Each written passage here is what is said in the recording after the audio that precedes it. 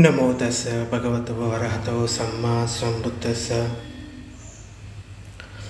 మనం ఇంతకుముందు కూడా కొన్ని గాథల్లో చెప్పుకున్నాం. మానవ జన్మ లభించడం అన్నది చాలా దుర్లభమైన విషయం. అంటే మనం ఎంత అదృష్టవంతులో అర్థం చేసుకోలేం. ఎందుకంటే అంత కష్టం మీద ఈ మానవ జన్మ అనేది లభిస్తుంది. అయితే మనకు మానవ జన్మ అయితే లభించింది. అందులోనూ ఈ దుఃఖం నుండి బయటపడేయగల ఈ ధ్యాన సాధన బుద్ధుడి ద్వారా మనకి ఇప్పుడు తెలుసుకోగలిగాం. సో బుద్ధుడి ధర్మం ఐదు వేల సంవత్సరాల వరకు ఆయన పరినిర్వాణం తర్వాత అలాగే ఉంటుంది అని ఒక నమ్మిక అనేది బర్మాలో ఉండింది. ఇప్పటికీ రెండు వేల ఐదు వందల డెబ్బై డెబ్భై సంవత్సరాల దగ్గర దగ్గరగా అవుతుంది. సో ఇప్పటికీ మనం ఆ ధర్మం నేర్చుకొని అర్హంతులు అవ్వడానికి అవకాశం ఉంది. అంటే బుద్ధుడి కాలంలో కూడా అర్హంతుడు అంటే మార్గఫలాలు పొందడానికి అవకాశం ఉన్నా కానీ తనలో పుణ్యపారమితలు ఉన్నా కానీ తాను చెడు అలవాట్లకి బానిస అయిపోయి ఆ అవకాశాన్ని పోగొట్టుకుంటాడు ఒక వ్యక్తి. అంటే అర్హంతుడు కావాలంటే దాదాపు వంద కల్పాల నుండి వెయ్యి కల్పాల వరకు పరిశ్రమ చేయాల్సి ఉంటుంది. అంటే మన లోపల మంచి గుణాలను పెంచుకుంటూ పోవాలి. మనకి ఇది కొన్ని చోట్ల ఇలా చెప్పడం జరుగుతుంది అనమాట అంటే ఒక వ్యక్తి అర్హంతుడు అవ్వాలంటే వంద కల్పాల నుండి వెయ్యి కల్పాల వరకు. అదే అగ్రశ్రావకుడు అవ్వాలంటే దానికన్నా ఎక్కువ. బుద్ధుడు అవ్వాలి అంటే గనక లక్షకు పైన కలపాలే పడుతుంది. అందుచేత బుద్ధుడు భూమి మీద ఉద్భవించడం అన్నది చాలా అరుదుగా జరుగుతుంది. ఇంకా మనం అంత దీర్ఘకాలం పరిశ్రమ చేయగలుగుతాం. కానీ మనకు ముక్తి లభించే అవకాశం లభించినప్పుడు దాన్ని జారవిడుచుకుంటే ఇంతవరకు చేసిన కృషి వృధా అవుతుంది. బుద్ధుని కాలంలో మహాధనుడు అనే వ్యక్తికి కూడా ఇలాగే జరిగింది. మహాధనుడు వారణాసిలోని అత్యంత ధనవంతుల కుటుంబంలో జన్మించాడు. అతడు కోశ అధ్యక్షుని పుత్రుడు అనమాట అంటే కోశాగారానికి అధ్యక్షుడి యొక్క పుత్రుడు. ఇంత ధనం నా కొడుకు తన ఇష్టం వచ్చినట్లు ఆనందమైన జీవితం గడపాలని తల్లిదండ్రులు అతనికి సంగీతం మాత్రమే నేర్పించారు. అంటే ధనం ఎక్కువగా ఉంది కదా ఇంకా మిగతా విషయాలు కష్టపడాల్సిన అవసరం లేదు అని కేవలం అతడికి మిగతా ఏమి విషయాలు నేర్పించకుండా కేవలం సంగీతం మాత్రమే నేర్పించారు. అయితే తమకు తగిన సంపన్న కుటుంబంలో జన్మించిన అమ్మాయితో వివాహం జరిపించారు. ఆమె కూడా ఈ నాట్యము సంగీతం తప్ప మరేమీ నేర్చుకోలేదు. ఇద్దరు కూడా చాలా గారవంగా పెరిగిన వాళ్ళు. ఆ నగరంలోని కొందరు యువకులు ఈ మహాధనుణ్ణి భ్రష్టు పట్టించాలనుకుంటారు. మహాధనునికి తప్పకుండా కనపడే ఒక ప్రదేశం ఎన్నుకుంటారు. అతడు తన భవనానికి వెళ్ళే దారిలో అందరికీ కనబడే విధంగా గుమ్మిగూడి వారందరూ కూడా మత్తు పానీయాలు మాదక ద్రవ్యాలు సేవించడం మొదలైన పనులు చేయడం మొదలుపెట్టారు. అయితే వారేం చేస్తున్నారని ఈ మహాధనుడు తన దగ్గర పనిచేసే సేవకుణ్ణి అడుగుతాడు. వారు త్రాగేది మంచి పానీయమేనా? అని అడుగుతాడు. అంటే అప్పటి వరకు తనకు ఈ మత్తు పానీయాల గురించి కానీ ఏమీ తెలియదు చాలా అమాయకంగా ఉండేవాడు. అయితే ఆ పనివాడు చెప్తాడు స్వామి ఈ పానీయంతో సమానమైన పానీయం ప్రపంచంలో మరేది లేదు అని చెప్తాడు. అయితే రుచి చూడడానికని కొంచెం ఆ పనివాడితోటి తెప్పించుకుంటాడు. ఇంతగా చెప్తున్నాడు కదా అదేంటో చూడాలి నేను రుచి అనుకొని తెప్పించుకుంటాడు. ఇంకా ఆ తర్వాత మరి కొంచెం తెప్పించుకొని సేవించాడు. ఇంకా త్వరలోనే ఇది అతనికి వ్యసనంగా మారిపోయింది. యువకులు అతని చుట్టూ చేరి ఆ దంపతుల సంపదనంతా తాగులకి తిండ్లకి అలంకారాలకి ఖర్చు చేయించారు. సంపద అంతా ఆవిరైపోయాక ఏమీ మిగలక వారు బిచ్చగాళ్ళైపోయారు. ఆఖరికి ఇతరుల ఇండ్లలో అడగ అడప దడప ఇంకా మిగిలిన తిండి పదార్థాలను అడుక్కొని తినే గతికి దిగజారిపోయారనమాట అంటే వాళ్ళు ధనవంతులుగా ఉండేవాళ్ళు. కానీ ఈ వ్యసనపు అలవాట్ల వల్ల వాళ్ళే తమ జీవితాన్ని నాశనం చేసుకొని పోయారు. అయితే అంటే ఇద్దరికి కూడా జాగ్రత్త తెలియదు డబ్బును ఎలా సంరక్షించుకోవాలి అని తెలియక ఇద్దరు కూడా ఈ మత్తులో మునిగిపోయి ఉంటారు. ఇంకా ఒకరోజు బుద్ధ భగవానుడు ఆ దారిలో వెళ్తూ ఉంటే అతన్ని చూసి చిరునవ్వు నవ్వాడు ఆ మహాధనుణ్ణి చూసి. అయితే ఏ బుద్ధుడైనా నవ్వాడంటే దానికి కారణం ఉండి తీరుతుంది. బుద్ధుని అనుచరుడైన ఆనంద్ బంతే తెలుసు కదా బుద్ధుడు వెంటే ఉంటూ ఉంటారు. అయితే బుద్ధుడు నవ్వడానికి కారణం ఏమి అని అడుగుతాడు. ఆ మహాధనుని చూడు తమ ఇద్దరి ధనాన్ని పోగొట్టుకున్నాడు. ఇప్పుడు అతడు అతని భార్య బిచ్చమడుక్కుంటున్నారు.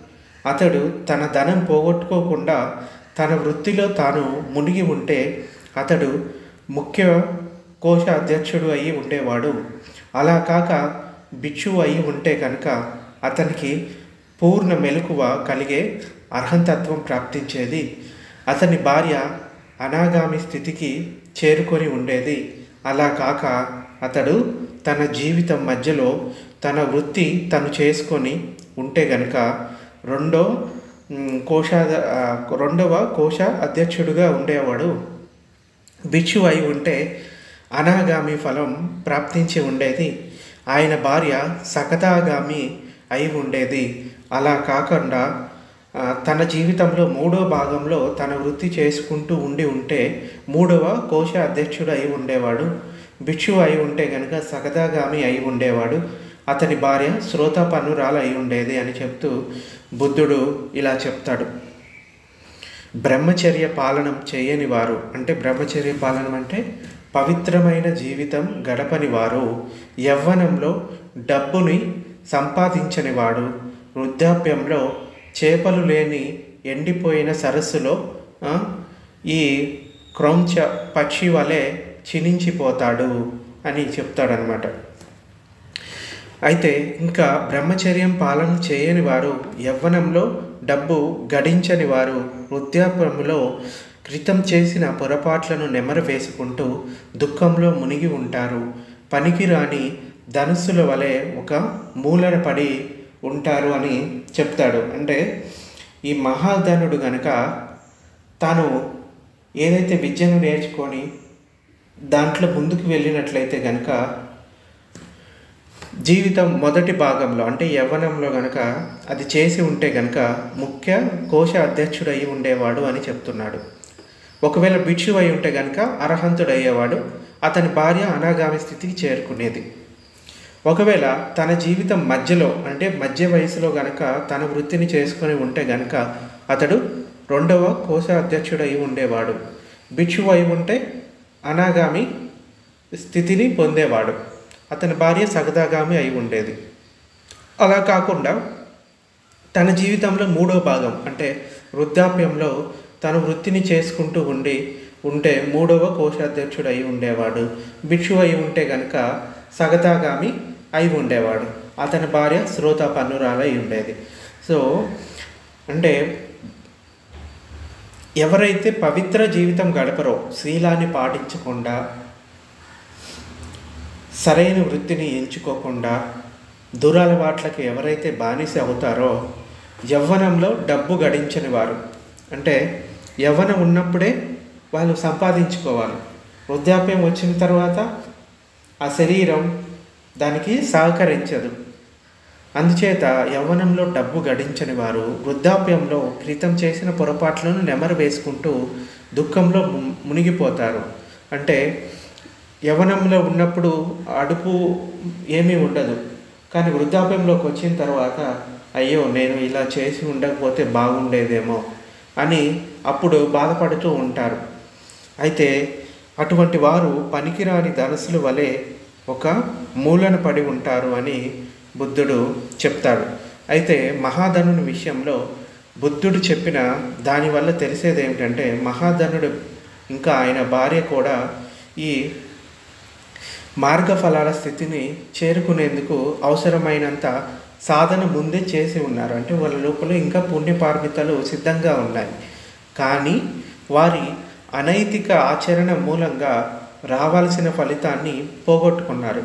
కాబట్టి మనకు వచ్చిన ఈ అవకాశాన్ని చేజార్చుకోకూడదు. సాధన చేస్తూ సమయం వృధా చేసుకోకుండా చూసుకోవాలి. ఎంత తొందరగా ప్రారంభిస్తే అంత మంచి పని చేయగలుగుతాం. చక్కని ఫలితాలు సాధించుకోగలుగుతాం. అయితే భగవానుడు ఒక చోట చెప్తాడు. ఈ శీలాన్ని పాటించడం వలన లాభాలేంటి? ఈ శీలాలను పాటించకపోవడం వల్ల నష్టాలేంటి అని. ఐదు రకాల అపాయాలు కాచుకొని ఉంటాయి. అనైతిక మార్గంలో పోయే వాళ్ళకి. ఏంటి? మొదటిది తమ అజాగ్రత్త వల్ల ధనాన్ని పోగొట్టుకుంటారు. వారికి పేరు ప్రతిష్టలు కూడా తగ్గవు. అండ్ అంటే పేరు ప్రతిష్టలు అన్నీ కూడా పోగొట్టుకుంటారు. ఇంకా పిరికి వారుగా తయారవుతారు. ఏ సభకు సమావేశాలకు వెళ్ళినా వారి మనసు ఎప్పుడు పిరికితనంతో ఆందోళనతో నిండి ఉంటుంది. ఇంకా మరణ సమయంలో ఎంతో ఆందోళన వారి మనసులో ఉంటుంది. ఆ తర్వాత వారు క్రింద లోకాలలో బాధాకరమైన నరక లోకాలలో జన్మ పొందుతారు. ఎవరైతే శీల పాలన చేయరో ఎవరైతే శీలాన్ని పాటిస్తారో వారికి ఐదు రకాల బహుమతులు కూడా లభిస్తాయి. ఏంటి? వారికి కృషి వల్ల ధనాభివృద్ధి జరుగుతుంది పేరు ప్రతిష్టలు లభిస్తాయి. ఇంకా ఏ సమావేశాలకు వెళ్ళినా వారిలో ఆత్మవిశ్వాసం అనేది ఉట్టిపడుతుంది. వారు శాంతియుతో మరణమని పొందుతారు. ఇంకా చనిపోయిన తర్వాత సుఖ సంతోషాలతో నిండిన సుగతిలో జన్మిస్తారు. అన్నిటికంటే మనకు ముఖ్యమైన విషయం ఏంటంటే నైతిక జీవితం వల్ల మనస్సు సముచితమైన ఏకాగ్రత పొందుతుంది. దుష్కర్మల వల్ల చింతన అంటే దుష్కర్మల చింతల వలన ధ్యానానికి భంగం కలిగించే చింతల నుండి ముక్తులమైనప్పుడు మనస్సు శాంతింప చేయగలుగుతాం ప్రశాంతత లభిస్తుంది. అందుచేత మనకి ఏదైతే అవకాశం ఉందో దానిని చక్కగా ఉపయోగించుకొని మన లోపల ఉన్న ఈ రాగద్వేష మోహాలను తృష్ణను పూర్తిగా తొలగింపచేయాలి. సో మన లోపల పుణ్యపారమితలు ఉన్న వాటిని ఉపయోగించుకోకుండా ఇంకా అనైతికమైన జీవితాన్ని జీవిస్తూ ఎవరైతే సాధన చేయకుండా అలాగే ఉండిపోతారో వాళ్ళు వచ్చిన అవకాశాన్ని పోగొట్టుకున్న వాళ్ళు అవుతారు. అందుచేత శీలపాలన చేస్తూ ధ్యానం చేస్తూ మిమ్మల్ని మీరు నిర్మలం చేసుకోండి. సో ఇది మనం ఈరోజు చెప్పుకుంటున్న స్టోరీ. ఎందుకంటే ఇది అవకాశం ఉన్న ఆ మహాధనుడు ఆ అవకాశాన్ని పోగొట్టుకున్నాడు. అర్హంతుడయ్యే అవకాశం ఉన్నా కానీ. అందుచేత అందరికీ కూడా అవకాశం ఉంటుంది. ఎందుకంటే ఈ ధర్మాన్ని వాళ్ళ లోపల పుణ్యపార్మితలు ఉంటేనే అర్థం చేసుకోగలుగుతారు. దాన్ని సాధన చేయగలుగుతారు. మీరు దీనిని అర్థం చేసుకొని ముందుకు వెళ్తున్నారంటే తప్పకుండా మీ లోపల కూడా ఆ పుణ్యపార్మితలు ఉంటాయి.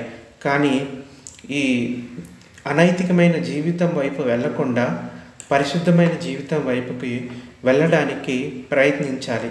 లేకపోతే కనుక మీకు ఉన్న అవకాశాన్ని పోగొట్టుకున్న వారు అవుతారు. సో ఇది ఈరోజు ప్రవచనం. ఏమైనా సందేహాలు ఉంటే అడగవచ్చు